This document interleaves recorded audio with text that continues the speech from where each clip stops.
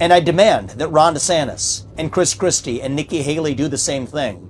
All I'm gonna say to this before we before we end this is pray for Trump. Okay, pray for Trump because what's going to happen is they are trying their damnness to get him up out of here. Let's say all of their tricks don't work. What's the final trick that they'll potentially try? Hey, what's up, y'all? Welcome back. I'm Van, and we are all the LFR family. Thank you so much for clicking play. Hopefully, you click that like button as well. Uh, much love to everybody out there who are fighting a good fight and doing what you got to do, just doing things the proper way and hoping that things will work out the way that they're supposed to. Unfortunately, some people like to play dirty. All right. Shout out to Colorado for playing dirty as hell.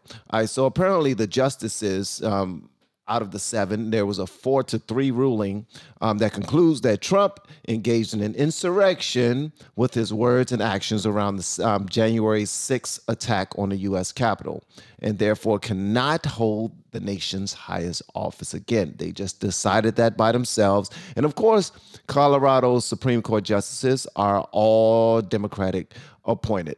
right? It says that the Colorado Supreme Court um, ruled on Tuesday on Tuesday that former President um, Trump is disqualified from holding the presidency under the Constitution's so called insurrection clause. But the issue divided the seven justices, all of whom were appointed by Democratic governors. Now, of course, we already know our man Vivek Ramaswamy got something to say about it.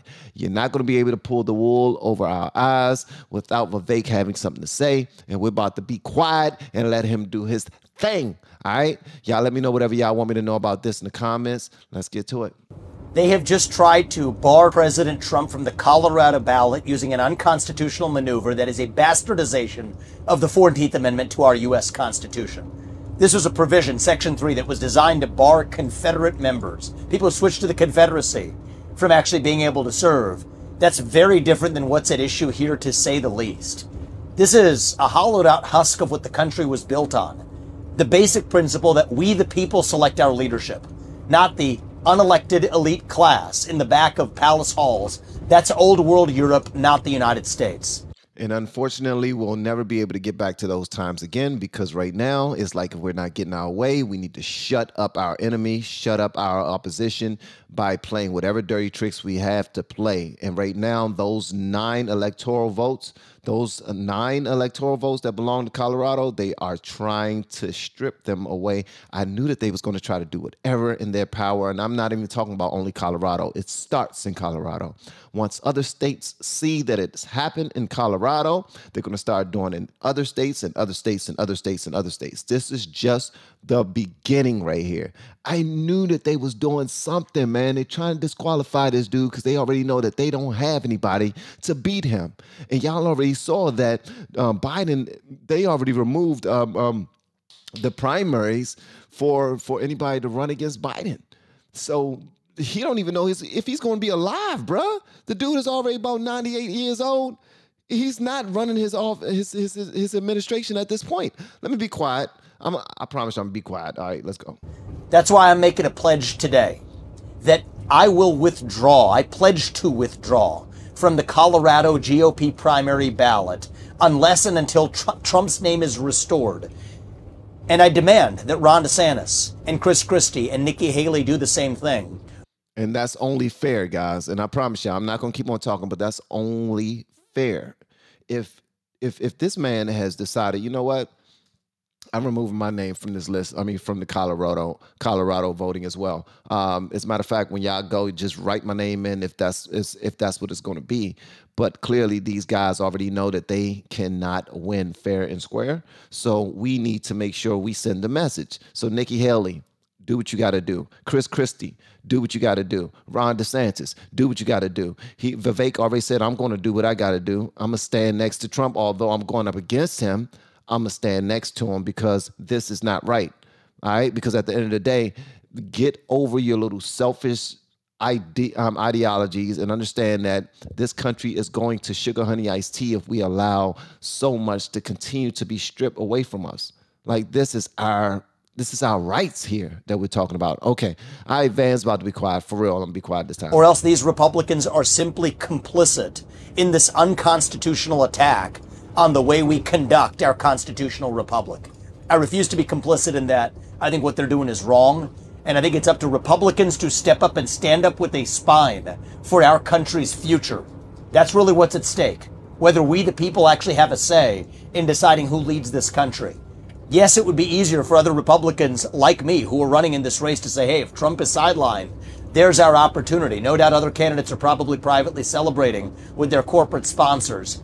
They are hoping that he is sidelined. Y'all already know that. This has been the play the entire time. This has been the play the entire time. They wanted to, like, um, um, um, they wanted to embarrass him in the eyes and minds of, of voters around the country. They wanted to make him look less presidential. So, and, and since they are realizing just by looking at the polls, they're they're realizing that their plans and schemes have not been working. So, we got to go to Plan E, Plan F, Plan G. I don't even know what letter they're on right now.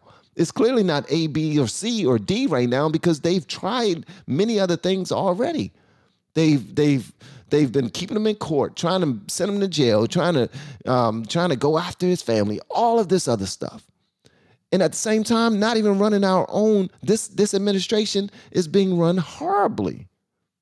So yeah, I'm I'm going to be quiet at this point. I just I'm seeing behind the tricks. Hopefully, these other people see as well and they make a statement. Ron DeSantis, bro, it's on you, man. You need to come out and do something about it. You are next up. You are the one that everybody been been talking about could potentially win this thing. You need to come out and be like, yo, if that's what Colorado is doing to one of us, then they'll do it to all of us. This is unconstitutional. You need to make a statement, bro. That's not the right thing to do. I think the most useful thing that every GOP candidate can do right now is to join me in that pledge I'll say that I will withdraw from that Colorado GOP primary ballot until Trump's name is restored. This belongs to the people, not to the unelected Democratic cabal of judges in Colorado or any other state.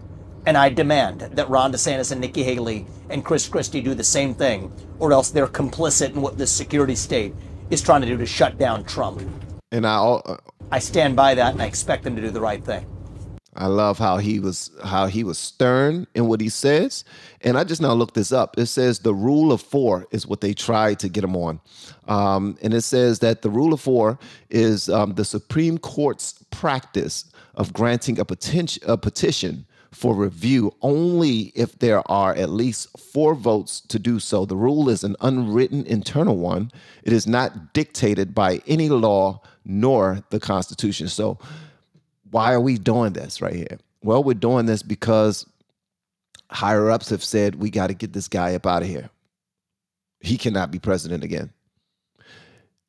All I'm gonna say to this before we before we end this is pray for Trump. Okay, pray for Trump because what's going to happen is they are trying their damnness to get him up out of here. Let's say all of their tricks don't work. What's the final trick that they'll potentially try? I'm not going to put any ideas out there in the atmosphere because I y'all already know, man. They are desperate at this point. Desperate. Because they know that the president that is currently running this country is not doing a great job. And um, and I'm when I say not doing a great job, I was about to use some choice words, but I'm gonna be more um, mature than that. I'm gonna be more Christian than that. I'm gonna be the be the God loving man that I am